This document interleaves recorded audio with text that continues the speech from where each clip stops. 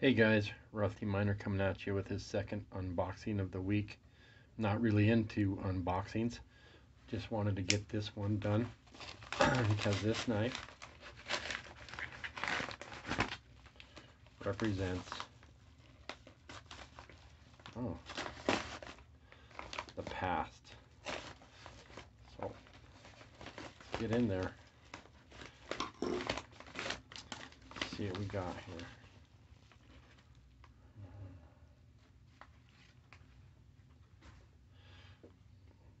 This is an A.G. Russell knife.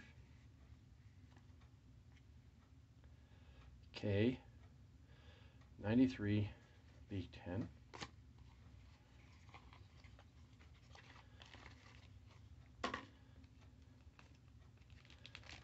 And why is this one special?